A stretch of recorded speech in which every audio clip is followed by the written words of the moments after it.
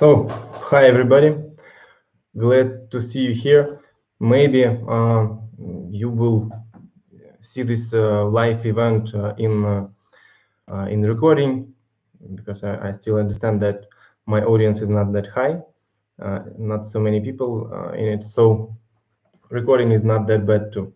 So today I'm going to discuss the topic of formal approach to health and safety tools we had similar event a couple of days ago in Russian, and then uh, I also think that this is good idea to have uh, this information available for my English-speaking audience. So a few words about me. Um, I was head of uh, health and safety in quite large company with uh, 85,000 people, uh, steel and iron ore and coal production. So quite a huge one, and uh, uh, we had good results, including uh, winning of um, program of the year in IIRSM last year. So now I started my work as a um, as a trainer. So I founded the school, which is new health and safety school for um, people at different level of organizations, mostly managers and directors. Uh, and uh, most of the people are happy and some changing jobs and, uh, and so on, uh, doing good job for their employees and or maybe new employee, employers. Uh, so today's topic is a formal approach to health and safety. And uh, this is something that so many people see in their work so many companies do that. So what is it that uh, uh, workers just tick boxes, uh, put some general phrases, and uh, don't care about what's written in the documents. So this is what we uh, face, I would say, really, really often in, in many, many organizations. Uh, most of organizations come to this. why did I choose this topic? Maybe two weeks ago, uh, I was um, conducting a training for a group of quite advanced specialists and uh, at a mining company. And this company was quite advanced. So they have many tools. They have uh, they have good results comparing to other companies in the region. So uh, people were quite advanced. But at the same time, they felt that in their safety culture, they are still not uh, in that level where they want to be. So they understand that they, do a lot, but still they are not there. Uh, but to understand what exactly can be the way for them to progress, what else can they do? That was an issue. And uh, while we were discussing different things, what can we do to make it work better? Uh, the most fruitful discussion was about this formal approach to health and safety because they have it. And uh, while um, looking for root causes of this uh, formality, uh, we did so many interesting things that I decided that, that, this is really interesting topic to discuss uh, in this live event uh, together with you. So I'm happy that we have some people to ask questions. Uh, I will start from uh, from my views on root causes and uh, things that we can do with it, and then I will answer your questions too. So, what are the roots? Um, when we were dis discussing this topic, uh, that was two suggestions from the group. What was the reason? And uh, it was uh, people are lazy. that's why they do things not uh, in, the, in, in the way uh, as it is described in the systems. And another one uh, was about people are in a hurry. So they just don't have enough time to feel uh, everything as it should be in, in their documents. So this, this was two suggestions. But if we look um, at these answers, this is these are not the roots. So there, these are also consequences. Uh, if we take this laziness, people are lazy, we are all lazy, and uh, we are more lazy when uh, we don't understand why we do this. So there are no uh, motivation to do this. Mm, two sides motivation from side of um, of my salary and my targets set by uh, by my employer one of those mm. and also related to the task so i don't see mm, uh, the meaning of these actions to the work i'm doing. So i'm doing something uh, let's say useless. So uh, nobody will mm, assess this job yes if so you are just doing something which has no value. You can put uh, uh, just tick boxes in the document or you can put um, all the things inside but nobody cares. So next time you are lazy. You don't want to make it again because nobody uh, uh encourage you to to repeat that. So this is the lazy. Another side of being lazy is uh, uh, the fact that this job is uh, too difficult to do. So you're repeating that and that takes your time and energy. And again, you don't have um, the output. You don't have motivation to do that. So it's too difficult. There are barriers that you should uh, overcome on the way. So there are things that makes you uh, really stressed about uh, doing these things. So uh, the, these are the reasons. And also, uh, it's not clear what you should do. So you, you are not trained well. You don't have uh, enough information to make this work uh, right. So there are things that stop you from doing. You don't understand how to do it. So there are barriers. Of course, that, that sucks your energy out. You don't, mm, and that makes you lazy. Next time you you do this job, you understand that you don't want to uh, to start it. So you make some shortcuts on the way. Another side is uh, being in a hurry. And I would say that there are two important things about being in a hurry. This is priorities, and this is uh, how um, the task is set. So when we have some unreal task, uh, when we have too many things to do uh, to complete the job, uh, then we came to priorities. And if it's not paid well, people will not do. So people should cut something if there's too many things to do on the way of completing the work. So when people are in a hurry, um, they look what's what is the most important thing and they cut the rest. And why does it happen? because processes are not uh, working well. Because uh, during implementation or control or uh, or continuous improvement of processes, we didn't mm, understood that there is the problem. We didn't took on the table the, the question of um, of too complicated procedures. Uh, of and we understand that people cut that procedures all the time uh, and uh, in addition to those topics, I would also add uh, another reason that everybody is doing it. So the reason of, of formality in health and safety is also the fact that other people always do like this. So I'm just repeating what other people do in combination with uh, being in a hurry and in combination of processes which are not set well. So two root causes, which I would mm, mention here um, after discussion of these root causes, uh, is about processes and about motivation. So two things which are important when we look at uh, formality in health and safety. Within processes, there are three, uh, uh I would say, directions. And the main one, I would say that this is the most important topic for the for the whole uh, consequences. These are uh, this is the the implementation of projects or project management. Because with project management, we mm, we define how to make these processes integrated in the whole system. Uh, do we have enough time to do it?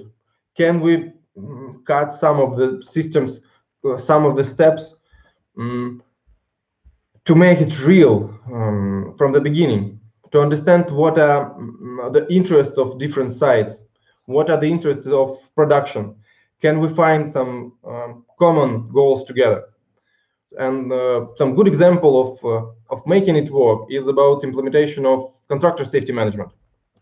Uh, I always see that um, that uh, other functions, some repairing, um, maintenance stuff, uh, production, they also have problems with mm, contractors about, especially about the fact that um, contractors are usually are chosen just uh, with the price.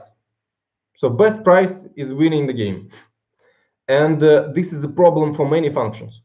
And if we can uh, make it work differently through safety tools, uh, this is something that they really support. Other functions support the idea of uh, adding quality, adding uh, some information from previous contracts with the same company. So that works well. That makes them more interested so if we get it into uh, some working groups, when we discuss what are the interests, when we discuss all the tools, mm, mm, we can make it work better. So everything is working. For example, mm, even these risk assessments for, for the work before tender, uh, mm, preparation of uh, task for the job. That is interesting for other functions. So it's we're not pushing it from safety side. We're not making the document, sending out for everybody. Uh, please take a note of it and, uh, and, and do it from next month. Mm, this doesn't work. That leads to formality. Uh, the other side is to prepare it with the group, to discuss it, to find common interests, to discuss all the tools to, in, to make it integrated into systems, to make time shorter, to find the things that are having not just uh, safety um, interest, but also some others. With this approach, that works much better. So implementation goes much smoother. Um, people start using it, not just comply, but also they see benefits for their work. So uh, such way of implementation is uh, having lots of uh, that makes everything more simple. Then within the processes. We should also have some tool to control how th this procedure works uh, in reality. So um, everything which we don't control in the work uh, is just uh, dying. It's like a, uh, some building. If you leave the building without any uh, control, if you don't uh, keep it in a good condition, if you don't cut the grass around. So nature will just eat this house in, in just a few years. That's clear. What happens with uh, so the same thing we have with the systems in safety. If we implement and then do not look how it works, uh, do not control, do not monitor, um, and uh, it goes how it goes. So it comes to this uh, to what is called um, normal practice. So what is this normal practice? This is uh, um, the uh, standards are usually decreased. They go down. Some something uh, people take shortcuts and then nobody see that uh, this is important and then they leave it as uh, as the day the daily job. They, there is also um, this organizational side normal practice. For example, if we don't buy things uh, some I don't know lanyards or something for uh, for maintenance activities or, or for um, loading. Uh, we don't buy it once. We don't keep the reserve. Mm, nobody cares. Nobody give you comments that uh, you should change it, and then it becomes normal practice. So you don't have reserve. If something is broken, then you have uh, nothing to to use instead. Normal practice uh, is something how we do things, and this is lower than expectations in the standards. So if if this is if this topic is interesting for you, this is um, human performance tools. Uh, you can find it. Um, so we need to control uh, procedures which are important for the system. So in, in some daily activities to uh, as part of implementation, we can add these topics into um, some checklists or um, some other tools which are used uh, all the time. And um, continuous development. Another thing that mm, in addition to how we set the standard, you know, in the beginning, we also look what are the ways to improve it. So as part of the auditing process, as part of uh, um, like understanding of risk profile of uh, organization, we should have these processes analyzed too. So formal approaches um, improved through processes quite easily. Another thing is uh, motivation. We all go to work for money. Yeah, there are some higher uh, things that we also get from our jobs but first thing why we get up and go somewhere uh, is because the this is our way of uh, of maybe making our dreams come true through money we get from the job. So if mm, our motivation to do something from safety is not linked with uh, the way how we what we get from our job it's also uh, we're not so motivated to do that so priority doesn't um, work in the way that safety is just not discussed. These tools should be implemented, and it's there is uh, it's important to have this motivation to perform safety uh, part of the job at every uh, level of hierarchy. Um, there are different tools. Maybe you, I don't know if you heard or, or know uh, how to cascade uh, these targets through the organization. So this is about uh, um, how we spread uh, um, the balance between leading and lagging indicators. So lagging indicators should be mostly focused on um, top level in the organization. So this for top managers and uh, managers of the plants and uh, when we're talking about um, workforce, they should have leading indicators. So it's um, managing risks and what they do uh, in their work. So these are this is what uh, is important for them.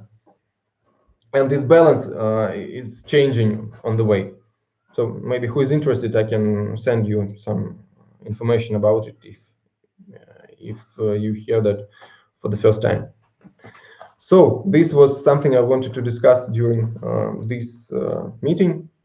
If uh, somebody have questions here on the YouTube or uh, Instagram, please uh, send the message. By now, I don't see questions, uh, which is uh, maybe fine because this was the first um, event like this. So you can leave maybe your questions in the comments and uh, uh, I will answer it a bit later. So uh, I, I, see some, some people has joined right now. Any questions about formality at work? do you see that this happening in, in your organization? So ticking the box, some tools are not uh, really used in real life, but just part of um, they just do it because you ask them, but they don't see that this is important. Okay, so I will not push anybody to um, answer questions. Uh, I was glad to see you all here. So uh, see you next time. Mm, next time I will make some notification about these live events uh, to let you know that we will have this discussion and uh, to maybe pre be prepared to your questions. And if you have anything to ask, if you are interested in in making the progress in safety and you have some questions um, so uh, especially if you are working in some challenging environment which i'm uh, which is really something that um, I, I, got used to so please ask and uh, i will raise that topics and answer your questions on um, my further life events so thank you for coming and bye bye. See you next time.